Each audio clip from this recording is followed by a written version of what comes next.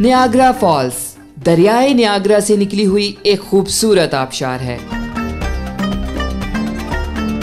जो अमेरिका और कनाडा के बॉर्डर पर अपना कुदरती हुस्न निकारती हुई हज़ारों सयाहों की अट्रैक्शन की बाइस है।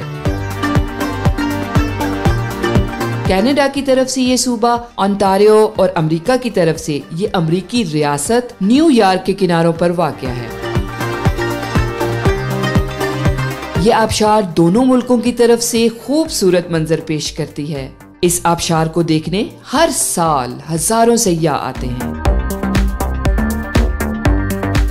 जबकि अमेरिका और कनाडा में बसने वाले बाशिंदे जब इसे देखने आते हैं तो इनको किसी वीजे की ज़रूरत पेश नहीं आती।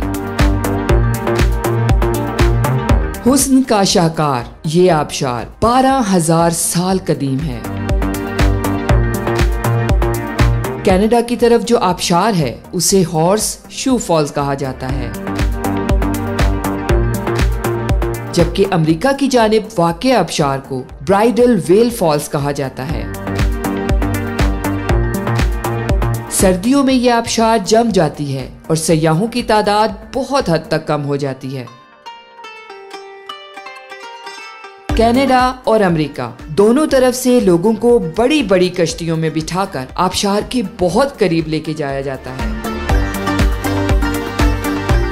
जिस वजह से सयाह भीग जाते हैं और कपड़े ना भीगे, इसलिए प्लास्टिक के रेन जैकेट्स दी जाती हैं।